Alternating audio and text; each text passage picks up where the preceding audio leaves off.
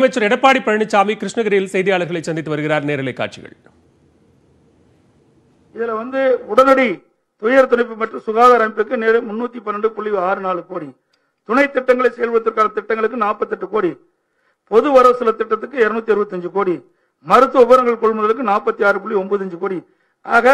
அறுநூத்தி எழுபத்தி ரெண்டு புள்ளி அஞ்சு ஒன்பது கோடி இந்த கொரோனா வைரஸ் தடுப்பு பணிகள் மருத்துவ சார்ந்த பணிக்காக வழங்கப்பட்ட தொகை அது மட்டும் இல்ல வாழ்வாதார பிரச்சனைக்காக இன்னைக்கு மத்திய அரசாங்கம் அரிசி ஆயிரத்தி இருநூத்தி ஆறு புள்ளி பூஜ்ஜியம் ஒரு கோடியும் பருப்புக்கு முன்னூத்தி ஐம்பத்தி மூணு புள்ளி ரெண்டு பூஜ்ஜியம் கோடியும் அதே போல ஜூலை மாசம் அரிசிக்கு முன்னூத்தி எண்பத்தி நாலு புள்ளி மூணு ஒன்று எட்டு கோடியும்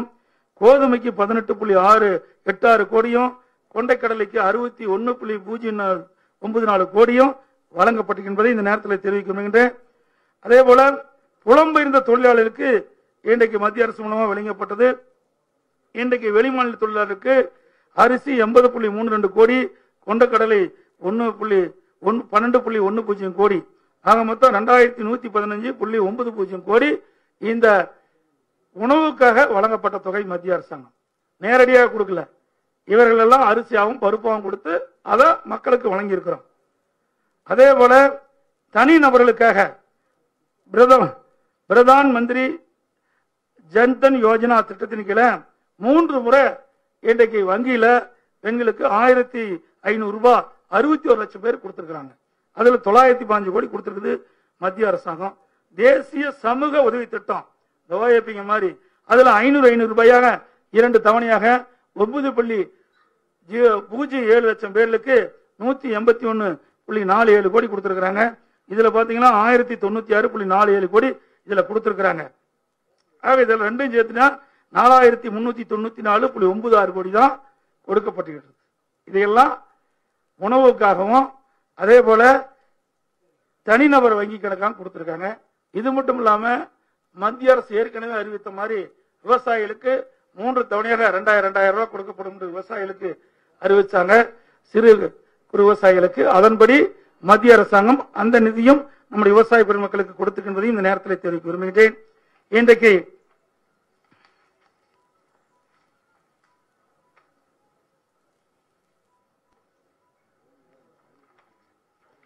மத்திய அரசு மாநில அரசு ரெண்டும் சேர்ந்து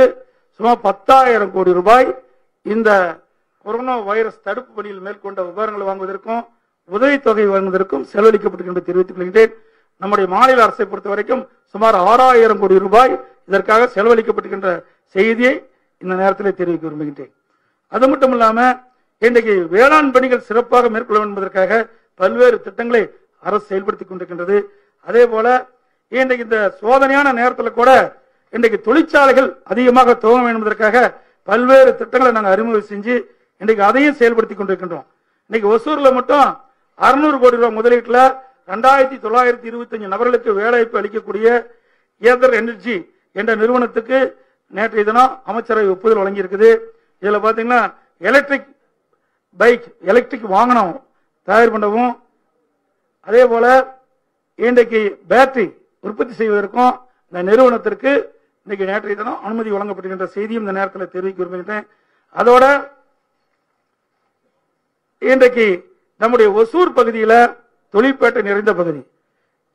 ஆறு சிப்கோ மூலமாக தொழிற்பேட்டை உருவாக்குவதற்கு அரசு நடவடிக்கை எடுக்கப்படுகிறது அது படிப்படியாக நிறைவேற்றப்படும் என்ற நேரத்திலையும் தெரிவிக்க விரும்புகின்றேன் அதோட இன்றைக்கு விவசாய பெருமிக்கலர்கள் நீண்ட நாள் கோரிக்கையாக இனோக்கள் ஒரு கால்வாய் திட்டம் அந்த திட்டத்தை நிறைவேற்றுவதற்காக மாநில அம்மாவுடைய அரசு பல்வேறு நடவடிக்கை எடுக்கப்பட்டு வருகிறது இன்றைக்கு தென்மண்ணை ஆற்றினுடைய வெள்ள காலத்தில் ஏற்படும் அந்த நீரை இடது வலது மற்றும் இடதுகரை கால்வாயிலிருந்து பிரதான கால்வாயிலிருந்து புதிய கால்வாய் வெட்டி இன்றைக்கு அந்த பகுதியில் இருக்கின்ற வறட்சியான பகுதியில் இருக்கின்ற ஏரிகளுக்கு நிரப்புவதற்காக இந்த திட்டம் உருவாக்கப்பட்டது இந்த திட்டத்திற்காக நிலம் எடுப்பதற்காக மட்டும் எழுபத்தி ரெண்டு கோடி ரூபாய் ஒதுக்கீடு செய்யப்பட்டு நிலம் எடுக்கின்ற பணி நடைபெற்றுக் கொண்டிருக்கின்றன இந்த திட்டம் விரைந்து செயல்படுத்த என்பதற்காக முதற்கட்டமாக ஐம்பது கோடி ரூபாய்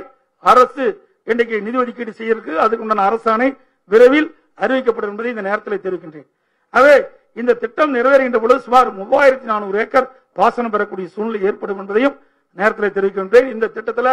தருமபுரி மாவட்டம் கிருஷ்ணகிரி மாவட்டம் ரெண்டு மாவட்டத்தைச் சேர்ந்த மக்கள் விவசாய குடிமக்கள் பயன்பெறுவார்கள் அதுபோல் அலியாளம் கால்வாய் திட்டம் இந்த திட்டத்திலையும் கிட்டத்தட்ட பன்னெண்டு புள்ளி ஒன்று கோடி ரூபாய் நிதி ஒதுக்கீடு செய்யப்பட்டு பன்னிரெண்டு ஏரிகளில் இந்த தண்ணி நிரப்பப்படும் கிருஷ்ணகிரி தருமபுரி மாவட்டத்தில் உள்ள ஏரிகள் இன்றைக்கு நிலப்படுவதற்கு அரசினுடைய அரசு நடவடிக்கை எடுக்கப்பட்டு என்பதை நேரத்தில் தெரிவிக்க விரும்புகின்றேன் அதே போல பாரூர் ஏரி முப்பத்தி மூணு ஏரிகளுக்கு நீர் வழங்கும் திட்டம் இந்த திட்டத்திற்கும் இன்றைக்கு அரசு நிலம் எடுக்கின்ற பணி இன்றைக்கு நடைபெற்றுக் கொண்டிருக்கின்றது இந்த நில எடுக்கு பணி முடிந்தவுடன் இந்த பணி துவங்கப்பட்டு இன்றைக்கு வெள்ள காலத்தில் இருக்கின்ற நீரை உபரி நீரை இந்த ஏரிகளுக்கு கொண்டு போய் சேர்ப்பதற்கான நடவடிக்கையும் ஏற்படுத்தப்படும் என்பதை தெரிவித்துக் கொள்கிறேன் அதே போல கொடியாலம் அணையிலிருந்து இருபத்தஞ்சு ஏரிகளுக்கு மின் விசை பம்பு மூலம் நீரேற்றும் திட்டம் இந்த அருமையான திட்டம் இந்த திட்டத்தையும் அம்மாவுடைய அரசு விரைந்து செயல்பட்டு இந்த பகுதி மக்களுடைய விவசாய பெருவடி மக்களுடைய நீண்ட நாட்களுடைய கனவை நிறைவேற்றுகின்ற அரசாக என்னுடைய அரசு இருக்கும் என்பதை நேரத்தில் தெரிவிக்க விரும்புகின்றேன் கேளுங்க அவ்வளவுதான் கொரோனா தடுப்பு மருந்து இன்னும் வரல வந்தா வரலையே அது ஒரு பார்ட்டு தான் அதனால கொரோனா வந்து முழுசும் குணமடைஞ்ச மாதிரிலாம் கிடையாது கொரோனா முழுசும் குணமடையக்கூடிய அளவிற்கு இன்னும் மருந்து வந்து சேரல அங்கங்கே அவ மத்திய அரசாங்கம் சில சொல்கிறாங்க அதை நம்ம பயன்படுத்துகிறோம்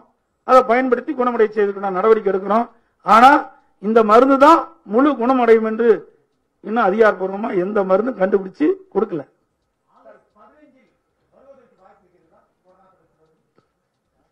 உங்களுக்கு எப்படி சந்தேகம் இருக்குதோ அதே தான் வரும் என்று எதிர்பார்க்கிறோம் நிச்சயமாக வர வேண்டும் ஏன்னா உலகையே குலுக்கி கொண்டிருக்கின்ற நோய் இந்த நோய்க்கு இறுதி வடிவம் கொடுக்க வேண்டும் என்று சொன்னால் அதுக்கு மருந்து கண்டுபிடிச்சால்தான் இறுதி வடிவம் கொடுக்க முடியும்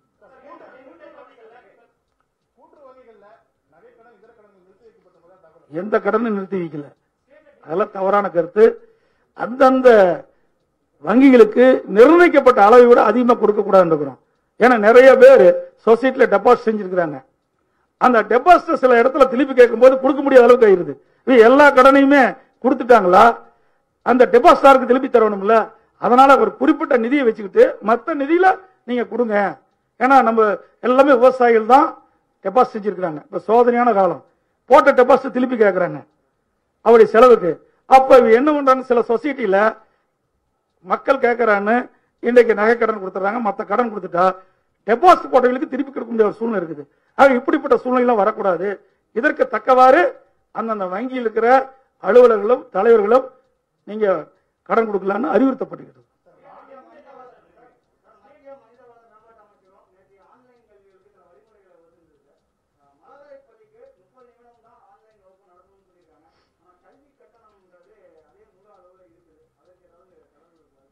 அதாவது இது வந்து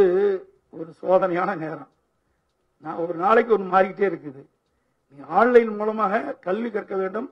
ஏன்னா நம்மளால குழந்தைகளுக்கு கல்வி கற்கலைன்னா மறந்து போயிடுவாங்க இது ஒரு இக்கட்டான சூழ்நிலை ஒரு சோதனையான நேரம் இந்த நேரத்தில் மத்திய அரசாங்கம் சில கட்டுப்பாடுகள் வைத்திருக்குது அந்த கட்டுப்பாடுபடி எல்லா மாநில அரசு செயல்படுத்த ஆகணும் நம்ம மாநிலத்துக்கு மட்டும் இல்லை இந்தியா முழுவதும் இதை நடைமுறைப்படுத்த வேண்டும் தான் மத்திய அரசாங்கம் அறிவிக்கப்பட்டுகின்றது நீங்க சொல்ல மாதிரி அந்த கல்வி கட்டணத்தை நம்முடைய பள்ளிக்கல்வித்துறை அமைச்சர் அந்த தனியார் நிறுவனத்தோட பேசிட்டு வராங்க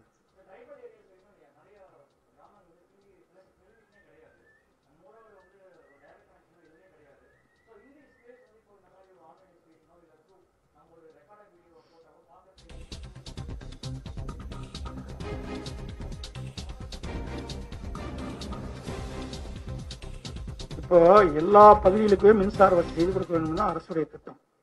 இன்னைக்கு பார்த்தீங்கன்னா ஒவ்வொரு ஏரியா மலை கிராமங்களுக்கு மின்சார வசதி செய்து கொடுப்பதற்காக சோலார் மின் வசதி செஞ்சு கொடுக்கணும் முதற்கட்டமாக சோலார் வசதி செய்து கொடுக்கணும் ஏன்னா இன்னைக்கு வந்து மின்பாதை அமைச்சா தான் அந்த கிராமத்துக்கு மலைவாழ் மக்களுக்கு போக முடியும் பல இடர்பாடுகள் ஏன்னா இன்னைக்கு எல்லா வனத்துறையிலுமே அவங்களுக்கு பர்மிஷன் கொடுப்பதில்லை சில கட்டுப்பாடுகள் இருக்குது வனத்துறையில் சில கட்டுப்பாடு வச்சிருக்காங்க புலிகள் காப்புகள் இருக்குது அந்த சுற்றுச்சூழல் பாதிப்பு இருக்குது இதையெல்லாம் வச்சுதான் அவன் அனுமதி கொடுக்குறாங்க இருந்தாலும் நீங்க சொன்ன மாதிரி எல்லா மலை கிராமங்களுக்கும் மின்சார வசதி செய்து கொடுக்க வேண்டும் என்ற அரசனுடைய நிலைப்பாடு எங்கெங்கெல்லாம் மின்சார வசதி இல்லையோ அங்கெல்லாம் முதற்கட்டமாக சோலார் மின்சாரத்தை கொடுக்குறோம் சோலார் மூலமாக அவர்களுக்கு மின்சாரத்தை கொடுப்பதற்கு அரசு நடவடிக்கை எடுக்கப்பட்டு வருகிறது மின்சாரத்தையும் கொடுப்பதற்கு இன்னைக்கு மின்பாதை அமைச்சு மின்சாரத்தை கொடுப்பதற்கு அரசு நடவடிக்கை எடுக்கப்பட்டு வருகிறது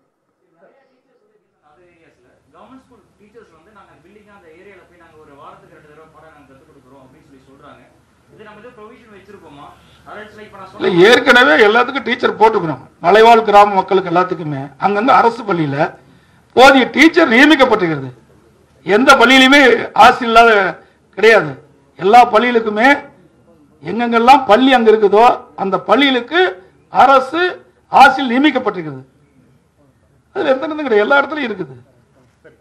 இருந்து கர்நாடகா வரைய பாரத் பெட்ரோலிய நிறுவனம் பெட்ரோல் குழாய் அமைக்கிறதுக்கு விவசாய மக்கள் எதிர்ப்பு தெரிவிக்கிறாங்க நிலங்களை கையகப்படுத்தக்கூடாதுன்னு சொல்லியிருக்காங்க இன்னும் அந்த திட்டத்தை எங்கள் உருவாக்க நடைமுறைப்படுத்தலை நம்முடைய நம்ம கிருஷ்ணகிரி மாவட்டத்தில் அந்த திட்டத்தில் நடைமுறைப்படுத்தலை இன்றைக்கு அந்த விவசாயிகள் கொடுக்கின்ற அந்த நிலத்திற்கு பத்து சதவீதம் இழப்பீட்டு தொகை கொடுத்துருந்தாங்க இப்போ நூறு சதவீதமாக இழப்பீட்டு தொகை கொடுக்கலாம் என்று இன்றைக்கு அரசு அறிவித்திருக்குது அது மட்டும் இல்லாமல் இன்றைக்கு விவசாயிகள் தானாக முன்வந்து வழங்க வேண்டும் அந்த கருத்து கேட்பு கூட்டம்லாம் நடைபெற்றுக் கொண்டிருக்கின்றது இன்னும் அதை முடிவு கொள்ள அவருடைய கருத்து கேட்பு கூட்டத்திலே முடிவு செய்யப்பட்டு தான் அந்த நிலம் எடுக்கப்படும் அந்த நிலத்தை எடுத்த பிறகு அது அந்த நிலத்தை அவர் பயன்படுத்திக்கலாம் அங்கே பெரிய மரம் தான் வைக்கக்கூடாது சாதாரண விவசாயிகள்லாம் இன்னைக்கு பயிர் செய்ய சாகுபடியெல்லாம் அதை செஞ்சுக்கலாம்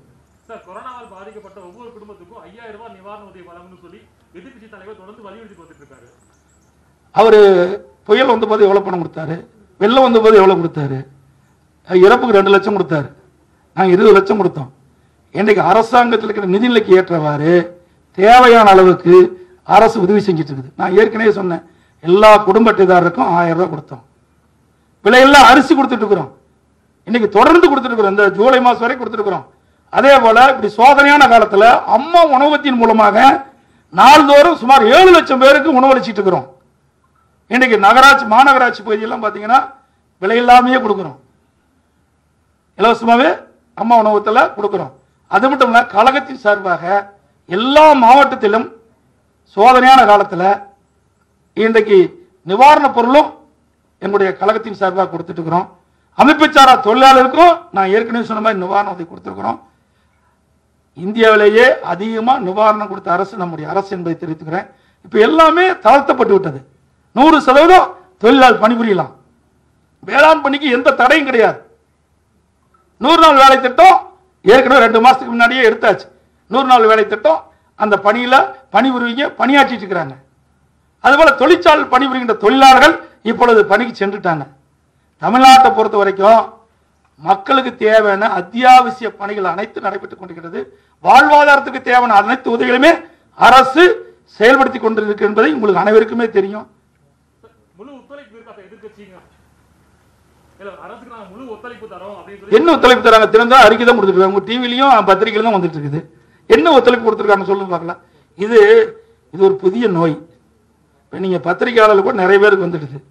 ஊடக நம்பர்களுக்கு வந்துடுது இப்போ நம்ம வீட்டுக்கு போய் சோதனை பண்ணால் தான் யாருக்கு நோய் இருக்குன்னே தெரியும் அப்படிப்பட்ட காலகட்டத்தில் இந்த நோய் யார் தடுக்கலைன்னா எப்படி தடுக்க முடியும் இது ஒரு புதிய நோய் இது எளிதாக ஒருவருக்கு மற்றவருக்கு பரவக்கூடிய நோய் இது அனைவரையும் சுய கட்டுப்பாடு இருந்தால் தான் இந்த நோய் பரவலை தடுக்க முடியும் இதுக்கு எதிர்கட்சி ஒத்துழைப்பு நல்கணும் ஆரம்பத்திலிருந்து நான் சொல்லிகிட்டே இருக்கிறேன் எதிர்கட்சி ஒத்துழைப்பு கொடுங்க கொடுக்கணும் நீங்கள் நோய் பரவலை தடுக்கல தடுக்க எப்படி தடுக்க முடியும் இது ஒவ்வொருடைய கையில் இருக்குது இதுக்கு மருந்து கண்டுபிடிக்கவே கிடையாது மருந்து கண்டுபிடிச்சிருந்தா உடனடியாக யாரால் பாதிக்கப்பட்ட அந்த மருந்தை அவர் உடலில் செலுத்தி குணமடை செய்யலாம் மருந்தை கண்டுபிடிக்க முடியாத நிலையில கூட நாள்தோறும் கிட்டத்தட்ட இந்தியாவிலேயே அதிகமாக பரிசோதனை செய்யக்கூடிய மாநிலம் தமிழ்நாடு கிட்டத்தட்ட இன்னைக்கு நேரத்தை கூட கூட கிட்டத்தட்ட நாற்பத்தி ரெண்டாயிரம் பேருக்கு பரிசோதனை செஞ்சு நினைக்கிறேன்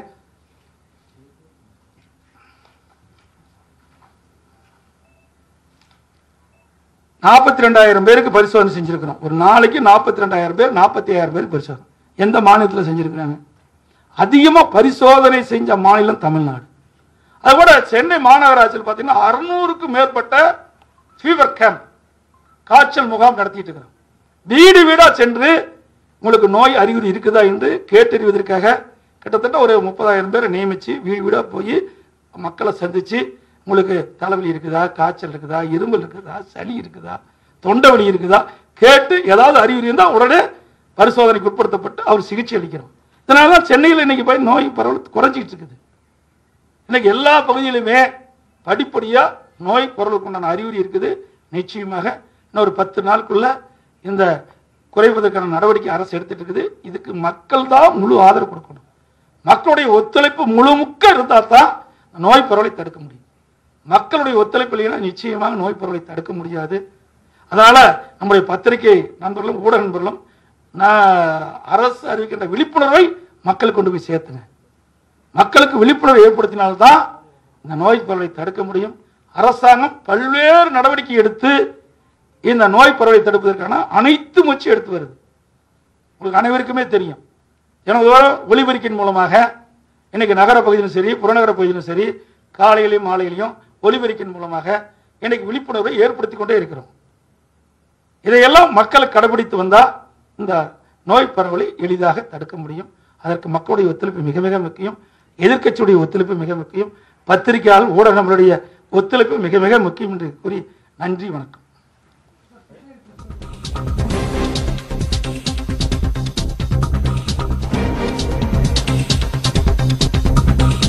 கிருஷ்ணகிரியில் செய்தியாளர்களை சந்தித்த முதலமைச்சர் எடப்பாடி பழனிசாமி கொரோனா நோய் தொற்று தொடர்பாக தற்போது அரசு எடுத்து வரக்கூடிய நடவடிக்கைகள் அரசு இதுவரைக்கும் நிதி உதவியாகவும் தடுப்பு நடவடிக்கைகளுக்காகவும் மருத்துவ உபகரணங்களுக்காகவும் செலவு செய்திருக்கக்கூடிய தொகைகள் குறித்த பல்வேறு விவரங்களை தெரிவித்திருக்கிறார் கூட்டுறவு வங்கிகளில் நகைக்கடன்கள் நிறுத்தி வைக்கப்படவில்லை என்றும் கூட்டுறவு வங்கிகளில் டெபாசிட் செய்தவர்களுக்கு பணம் கிடைப்பதில் சிரமம் இருக்கக்கூடாது என்றும் அதற்கு அரசனுடைய நிதி நிலைக்கு ஏற்ப அனைத்தும் செய்யப்பட்டு வருவதாகவும் முதலமைச்சர் தெரிவித்திருக்கிறார் இது தொடர்பான விரிவான விவரங்களை பின்னர் வரும் தொகுப்புகளில் பார்க்கலாம்